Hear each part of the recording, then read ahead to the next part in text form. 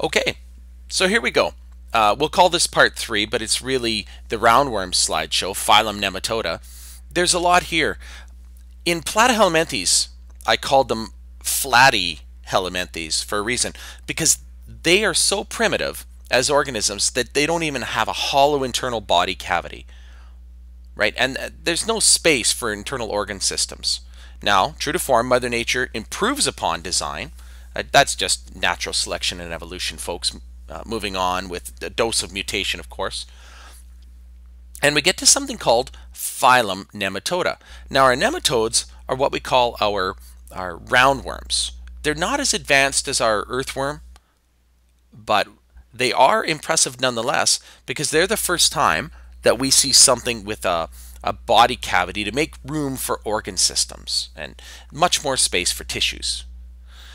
Now, if you look at the videos, we've met the planarian. Uh, you should have gone to class gone to the animation of the tapeworm life cycle. By now, you should be really grossed out, but you know that Combantrin, that little yellow goop, is a great way to poison them. The pork tapeworm, you won't be eating your pork medium rare anytime soon. Blood fluke life cycle. So our, our snail and human sort of life cycle, which is really horrible. Uh, trichinosis, uh, consuming pork and getting those horrible cysts in your body. Um, if they make their way to your brain, you've got a serious life-threatening disorder. We'll examine the hookworms now. So these last few videos uh, from these last three here will be really important to look at because these will be our phylum Nematoda examples. So that's sort of the defining line in the videos that I've shown you. And of course there's what to read in specific pages. So we'll get reflection going and uh, sort of fill in our course notes and pop along and check out these life cycles as need be.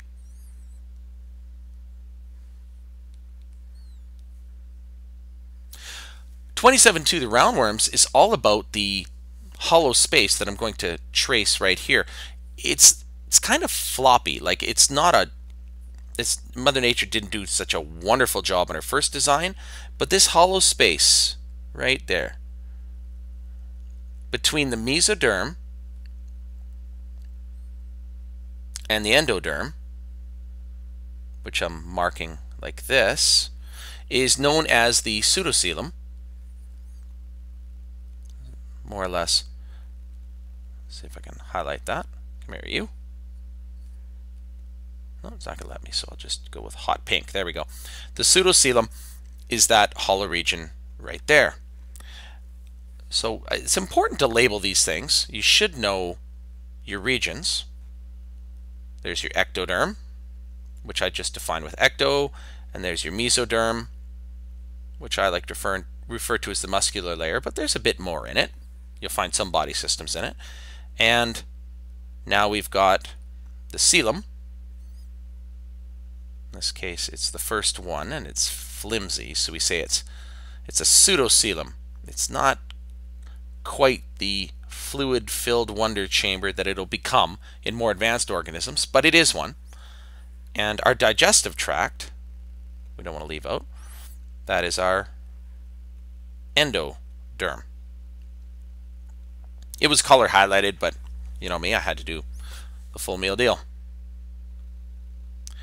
So roundworms are pretty well parasitic. They'll go after just about anything you can find. I remember down in Victoria, they closed an entire an entire field just outside the airport because of an invasion of uh, roundworms and the soil was so contaminated that they had to leave it fallow for the better part of 10 years. By fallow it means you just don't grow anything on it. You make sure that nothing grows on it so the parasite essentially just starves to death. So they are free living. You'll find them in the soil, uh, salt tolerant, water varieties. You can find them pretty well everywhere. And these things are, are very nasty. They're very parasitic. And um, as soon as I see roundworms, I think of these this horrible uh, genus known as Ascaris, which if you ingest its oral fecal, just like we've seen with many of these life cycles, it, it will develop in, in the intestines and it, um, one of the videos will definitely show you how that went. One of the suggested ones that I said take a look at. they're unsegmented. So by that we mean it's not like an earthworm where you see these nice fine defined segments, right?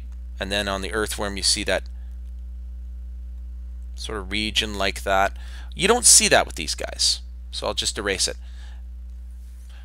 They're pretty plain and uh, really it's all about bringing in food here and passing it out through here. They're all about reproduction and they're all about parasitizing. In fact, when we do the Ascaris dissection and you open up one of these, you will see mostly reproductive tissue and you can see just how strongly they're focused on it.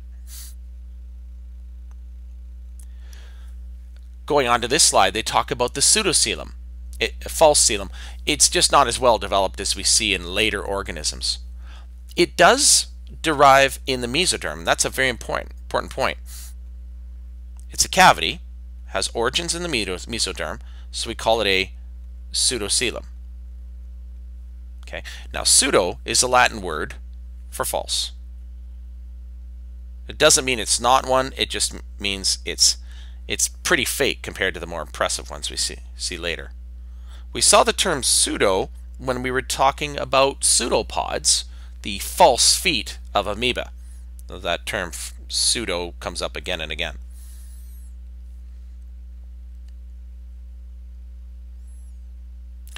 Uh, about two slides ago, we showed that they had two openings, really a mouth and an anus, right? So it, wherever you see a mouth, there's usually a pharynx. These little guys being parasites will take advantage of living inside their host because they're basically, well, there's food, food all around, and they can have what they want. Your digestive juices are breaking down the food. It's like a giant food milkshake for these guys. It's a tremendous opportunity for them, which is why whenever nature provides an opportunity, a niche, some animals will move into that niche and try to exploit it.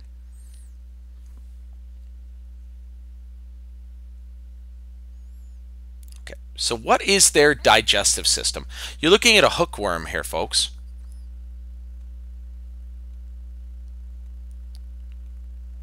So because they're parasites, that's the, sort of the first thing we point out. Hookworms a lot of these worms can be free living, but they would prefer to parasitize you.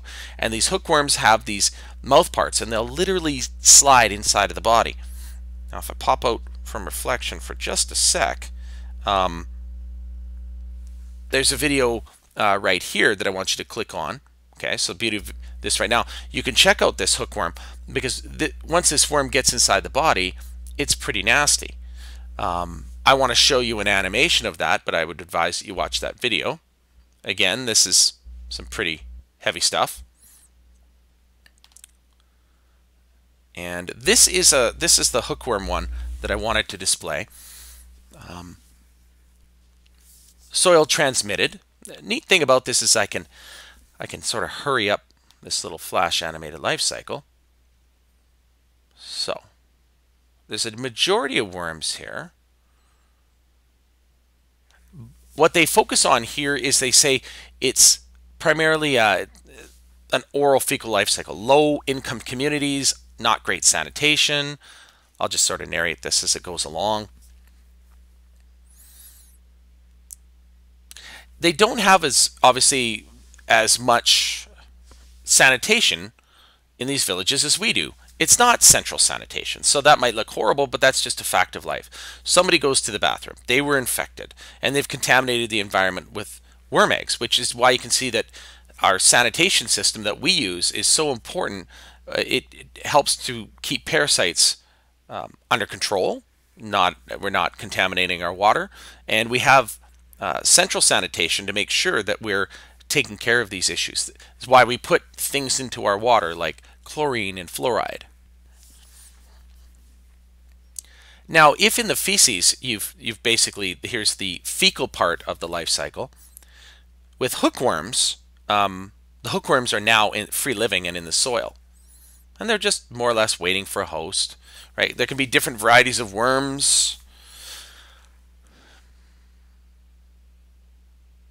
Seeing the development of a roundworm. This isn't as important. I just want you to see that the worms developed in there, that little container takes a little while. Hookworms, whipworms, they're both pretty nasty.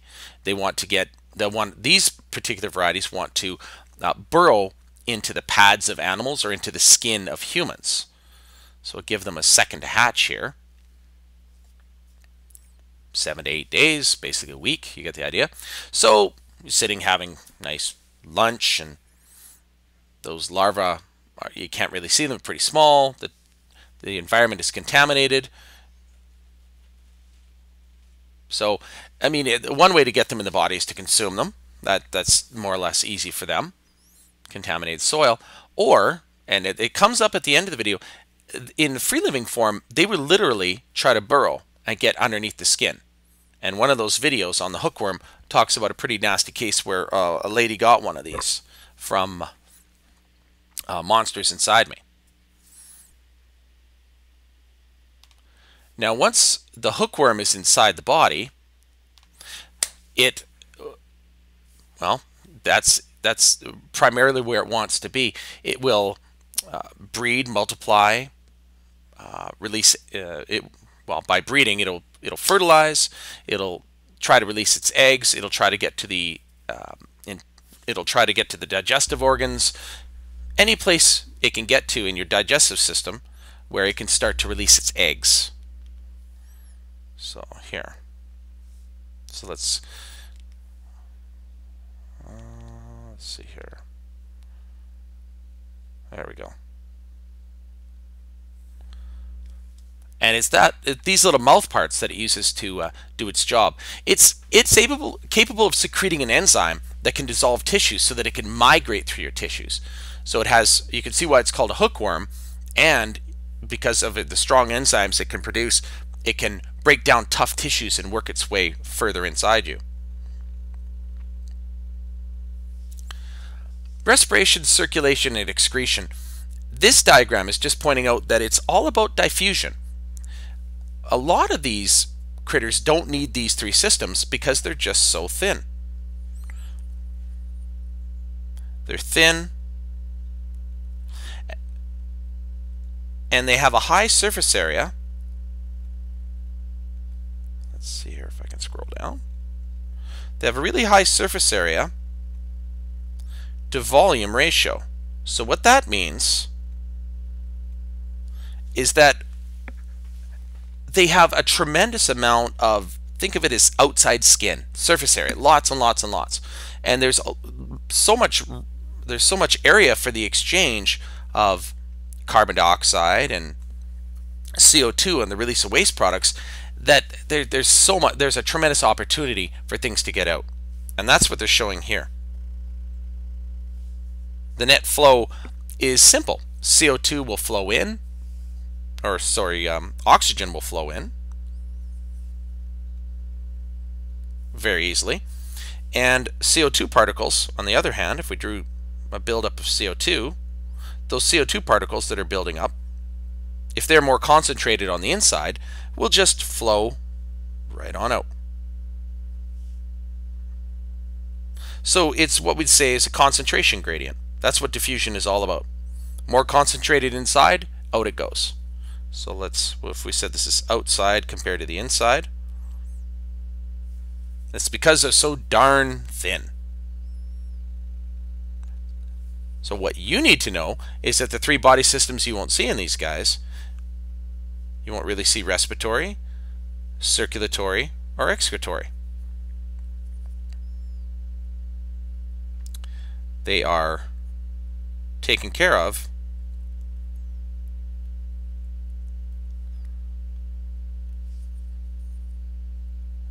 by how flat these worms are. Now we can't do that. We have too much of an internal volume compared to our, our surface area, so we can't breathe through our skin, right? there is some diffusion. It is not enough to keep up with our demands. We have very high metabolisms and lots going on inside our bodies. We, we couldn't depend on diffusion like these guys. So how do they move? Locomotory.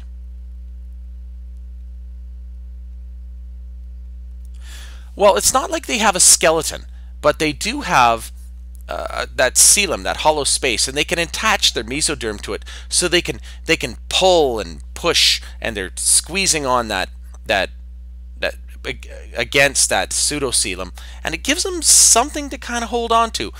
As we look at earthworms, it's very similar.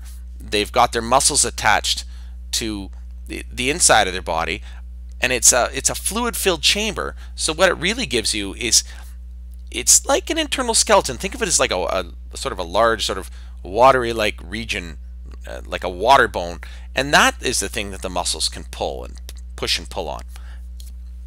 So we say in these conditions, because this is a fluid-filled chamber and it runs all down the body, and it's fairly thick, that it's something that the muscles can press against, and we call it a hydrostatic skeleton. When you look at roundworms move, they kind of squirm and wiggle. So they kind of move in a snake-like fashion. And the soil-dwelling ones, well, they, they thrash around and, and try to burrow their way into the soil. Right? So in the water, it's just much more of a snake-like motion, but on the ground, you see them just flailing.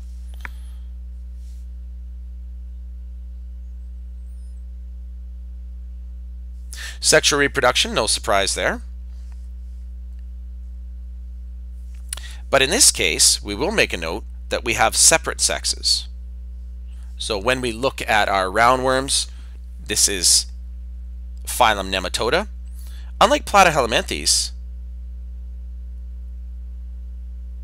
phylum Nematoda, our roundworms have separate sexes. Males, females, separate. When we open up Ascaris, you'll see that.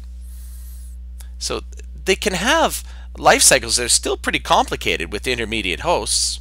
Um, obviously, you know that because we're in the reproduction section, this is where it gets gooey and interesting. So, human ascarid reproduction. So, a diagram like this presents itself, and you say, well, really, where do we, where do you even start? You start with the Ascaris worm. And the Ascaris worm itself, we've got the separate male and female uh, uh, versions of the worm, right? Different sexes. Now the Ascaris worm is the adult variety. So what's going to happen? Well, it's going to release eggs that are going to get out into the feces. So let's let's sort of begin at the their where they're successful. So the Ascaris worm will live in intestinal tissue like this, and it can get quite long.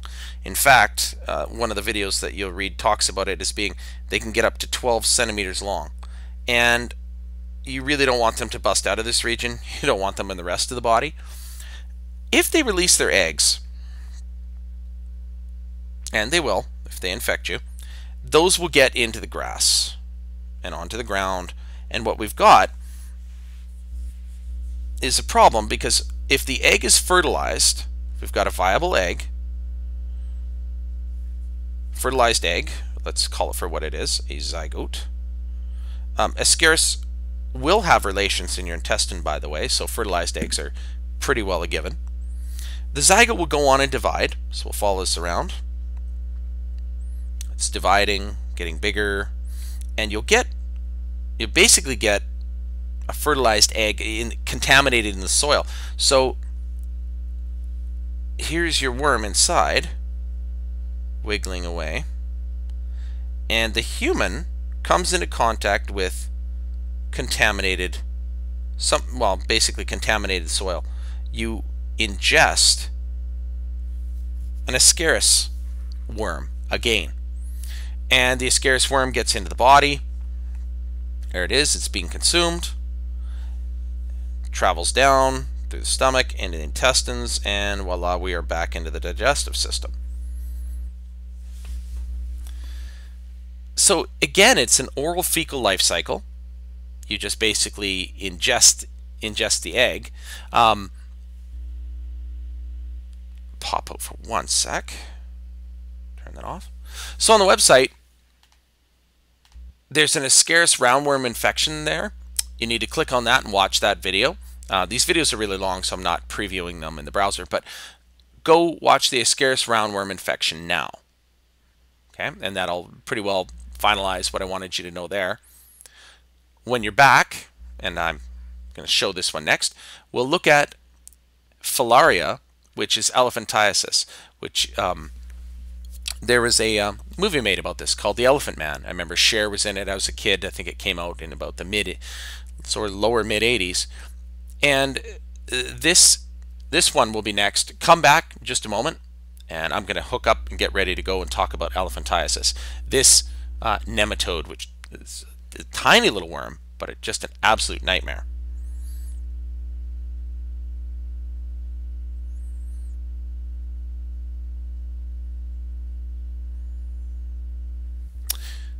Okay, so looking at those little roundworms just before I move on to elephantiasis, um, these Ascaris worms are pretty big. Uh, these little worms, they'll, they'll form these little cysts sometimes. Uh, if you consume them, they can form, you can come into contact with contaminated feces. If you eat the meat of an animal that's got roundworm cysts in it, then you can become infected. Same thing as if you eat infected pork and you get a tapeworm except this time the worm is, well, as bad or even nastier. These Ascarid worms, you're seeing a whole bowl of them here. Um, in some developing nations, they remove these from the um, basically from the anuses of uh, villagers just to get them out because you can get these things will form blockages which can be life-threatening for the host. Now, before I go on to trichinosis, Ascaris worms Actually, I think I can just do it straight in my browser. An Ascaris blockage can be a real nightmare. Combantrin, which you see right here, will kill them dead, right? Same thing as tapeworms. Ascaris lumbricoides. There we go. Just go to images for a second. Doesn't take very long. Okay, so if left unchecked, these things can get into the into the bowels and they're just reproducing like crazy and they're releasing their fertilized eggs as well but they can also develop inside. So these have to be removed. They're just a, a devastating uh, parasite this one coming out of an animal. And really what we're talking about is just this worm right here this little pseudocoelomate worm. And there's the Center for Disease Control picture that you just saw they will form these. They can form these little cysts, um, sort of like tough little, tough little, uh, almost look like little seeds, don't they? But they'll release. They'll also release their. Let's see if I can get it zoomed in. They'll also release their uh, fertilized egg in a tough little container like that. So it's pretty resistant. Once it gets into the soil, it's just waiting for a host to come along. Now, how would you really consume it? Well, you could consume uh, you could consume plant material. Um, you could consume an animal, right, that has become become contaminated with these two cysts in the tissue. I think you get the idea.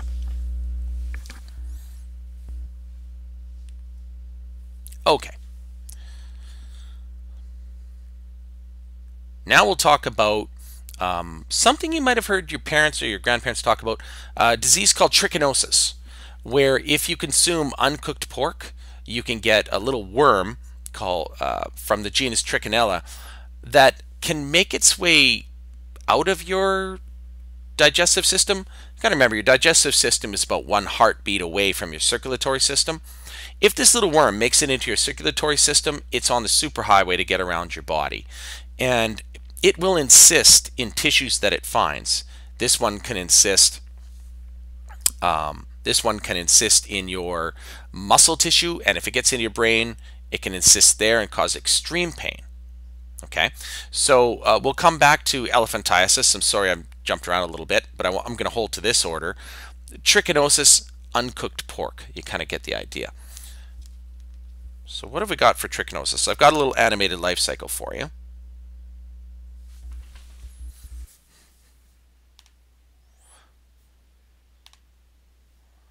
Uh, trichinella. So the trichinella worm, I'll hold the animation here. I want to show you this first. The trichinella worm can be encapsulated in the muscle tissue. So if you think about it, something like bears, where they eat carrion all the time, they're much more prone to picking up this worm. So if you've ever had bear meat, it the only thing you can really turn it into is sausage, and you have to cook it like crazy to kill these little worms because it can be encapsulated in muscle tissue, kind of lying dormant. And trichinella um, tends to affect pork because when you look at pigs, they're in contact with feces quite a bit. So eat holes in the muscle and build little houses called cysts, and yeah, you'll get it would be extremely painful. So that's the microslide of what it would look like encapsulated in muscle tissue. So you wouldn't want to consume that, or you've just invited it into your body. Here it is encapsulated in the muscle tissue here, and um, it's not just going to stay there, but the pain of it burrowing in, you can imagine. And if it got into nervous tissue, drive you mad.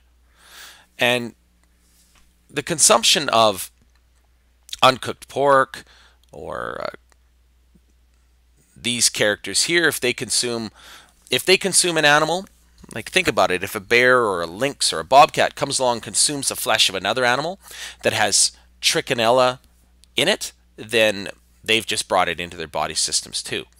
So it, pretty nasty little life cycle.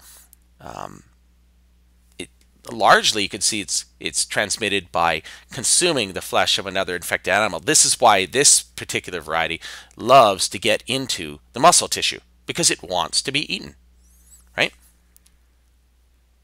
So little note here where they say juveniles are digested from muscle. They penetrate into the tissues of the small intestine where they grow into sexual maturity. And that's the idea. That's where they want to be to more or less sort of finish their life cycle. And once they're once they're there, you're looking at the infective stage. So they really just at this point is just showing that they want to be eaten. Pretty gross, I know. So here's the thing cook your meat. And your pork, you don't want that to be medium rare.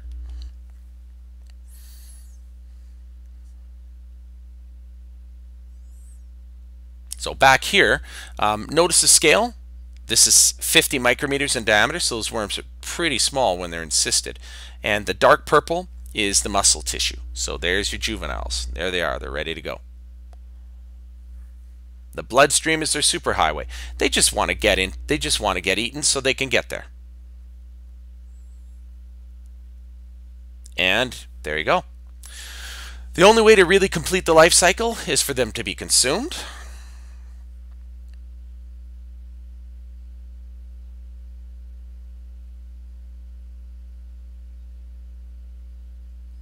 Which I always think about this when I eat pork and you see a little bit of pink in the middle and you're like, oh boy, did I just you know, could I have gotten a assist? Could I have gotten this thing right here? Because there's a parasitic worm just waiting to use you. We think we're at the top of the food chain, and then I look at this sometimes and I wonder who's using who. The answer is everybody. Okay. Now, my apologies. I, I, thought I was covering this before my before trichinosis and the trichinella little worm. What you're looking at here are filarial worms. Now, um, the disease is known uh, by a couple of names.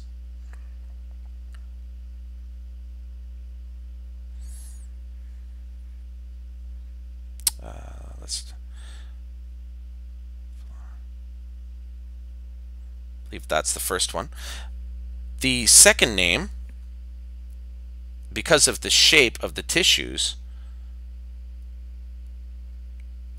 There we go. Elephantiasis. Oop, push that off. There we go. You get this elephant-like flesh. That's what they're naming it after, sort of the large limbs of the elephant. And these, what happens is these little worms, once they get inside your body, get into little pipes of your lymphatic system.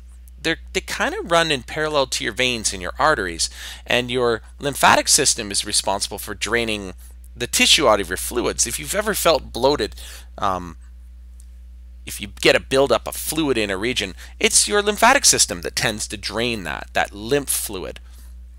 Well, little worms can get in those pipes of the lymphatic system and they could start to create blockages like this. And once they do, if once they kind of get together in clumps, and once they block the lymphatic tissue pretty well like this, there's very little flow of the lymph fluid, or it stops pretty well entirely.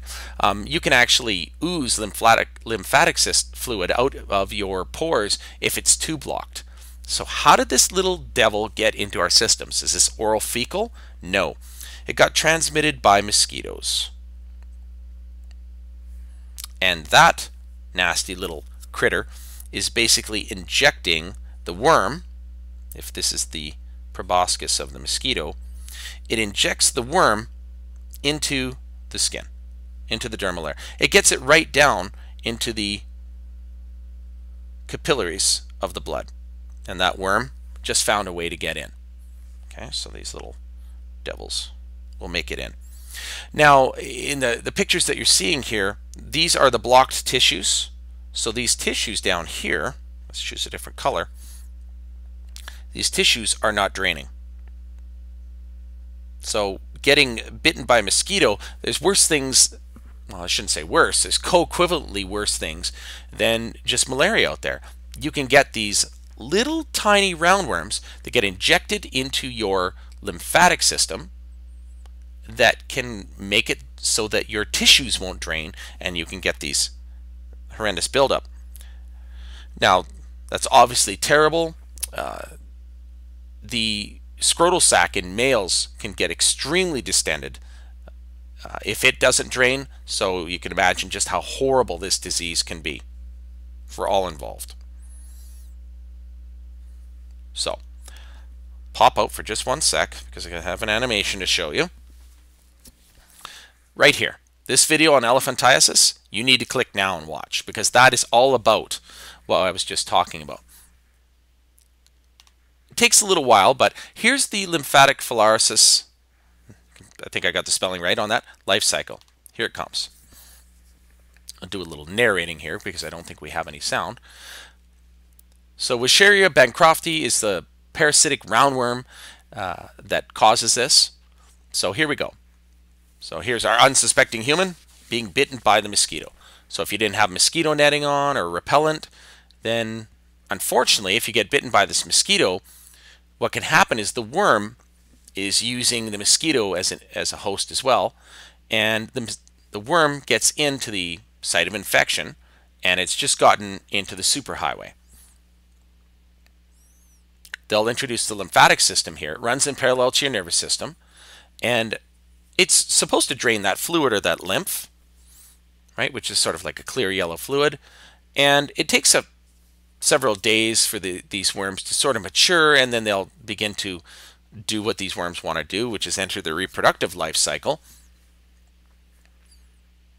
This is very specific on the timing.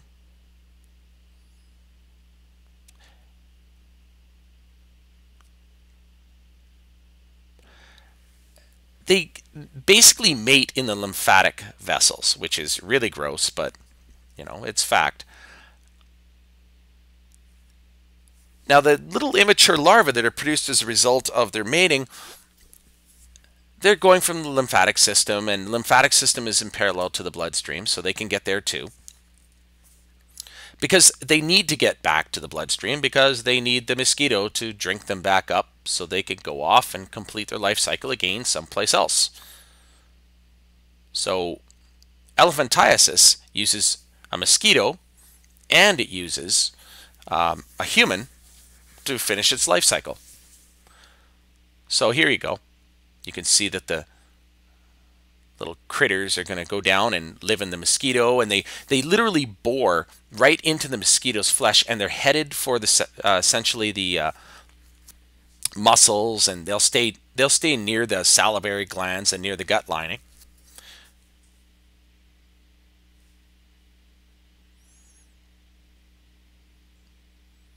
So they're using their host. This is a lot of information, but it's kind of neat, so we'll let it play out. What you really need to know is that the mosquito transmits it to the human, and the human is, um, well, transmits it back to the mosquito. Think of it that way. So now they're infective here, and they make their way to the salivary glands and the mosquito conveniently pokes it back into the human. There we go. Back in the lymphatic system we go, and this goes round and round. Pretty nasty little critter. Okay. So that'll bring us up to the end where they, they generally what they talk about are, are the diseases. Um, we've seen uh, uh, elephantiasis here. We go back, we were looking at trichinosis. And it's interesting they left this to last. Um, I'd already, oops, guess I should reflect that, shouldn't I? Let's back up. Here's our diseases again. Uh, uh, trichinosis caused by eating uncooked pork. There's a roundworm infection for you. Filariasis or elephantiasis the blockage of the uh, of basically of lymph nodes by these little worms and they won't let the tissues drain. And Ascaris lumbricoides, you can see how that can fill up an intestine pretty badly. And that's life-threatening for the host because if you can't have a bowel movement because these things are in the way, you've got a major problem. And they have to be, literally have to remove them. Um, the Ascaris life cycle consuming that egg. Egg travels to the small intestine, develops into larva. So, classic oral fecal life cycle. Now, Ascaris itself, interestingly enough, um, because it gets into your digestive system, it, it can also enter the blood vessels and it can get to the lungs. So that does make the potential of coughing up the larva as well. They, if, if you cough them up at the back of your throat, sometimes if you've ever coughed up something nasty from your lungs, you'll swallow it again because you can get it right back down into your intestines. So they can make it to the lungs and then you cough them and they go right back down into the intestine. This is a lot more detail than I would expect you to know in the Ascaris life cycle. What I would want you to know, uh, it wouldn't the lung portion wouldn't be so important. It's just that the life cycle will complete in the gut and it will be released from the body. That little trip to the lungs is something. And this picture is the removal of all the Ascarid worms that these medical practitioners did out of the goodness of their heart to remove from the village. So you could see why sanitation is so important, why water has to be treated, why people can't go to the bathroom near a water source because we can't have these infected eggs and these little worms being transmitted through contaminated waste. Right? You can't really say, here's a vaccine for this. That's, that's not sufficient. Similarly, you have to consider the effect of, of heartworm. Um, heartworm's another little roundworm. And this one, all I would expect you to know with heartworms is that the mosquito sucks the blood of, say, an infected animal like your dog. And when it transmits the worms into the dog, those worms can also take up residence in the heart. So there's a lot of information here when you look at your slide. But just understand, this this one is just sort of a, a mosquito and a blood sort of relationship. And if the dog gets these, right? And if they're not treated for heartworms, if they're not given proper medication to get rid of these worms, um, the heartworms will take up residency, and the heart can't take that kind of pressure. It's obviously fatal.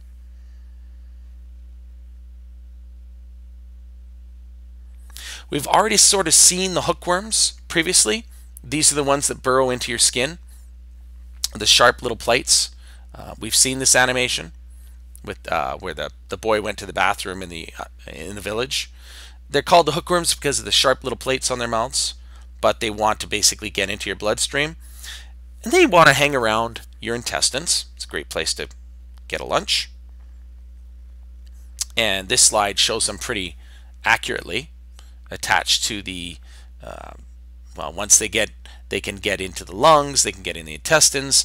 Um, they're sucking blood these little hookworms, anemia, poor growth, right? And this is just for show, stupid little video or a slide here on Gigantus wormius, just to say that this this these small little roundworms are so parasitic they don't seem like a big deal, but they are a big problem. So that looks like a giant ascaris to me. Okay. Make sure that you have a chance. If you're traveling on the road, uh, check out these videos. If I presented them in class, that's great. Check them out again. The big thing I want you to know about these worms is that phylum, phylum Platyhelminthes, which we first looked at, had no coelom, right? So we had some nasty varieties in there. Our um, trematodes, our class Trematoda, and our our class uh, Cestoda, like our tapeworms, liver flukes tapeworms, you get it? They really were sort of like the first stage in the migration towards something which was more advanced, much more worm-like. Okay, so we call them all the primitive worms, but when we look at phylum Nematoda, now we're looking at the worms that are a bit more round. They're actually more like real worms. Uh, they're not earthworms. We're not talking about that. But what we are talking about is parasitic, sort of round worms, right? So you would want to know the life cycle of trichinosis. You would want to know the life cycle of elephantiasis and just the general life cycle of Ascaris and your hookworms because it's important to know these things. It's how we protect ourselves from these critters. If you step back, most of it is oral fecal. Some of it, some of it is um, transmission by mosquitoes. So you need to take a look at these, know them, and I always say it's not a bad idea to write your own crib notes, regardless of what I've done. Okay, ladies and gentlemen, that is 27.2, the roundworms. Um, and I'm done. Have a good one.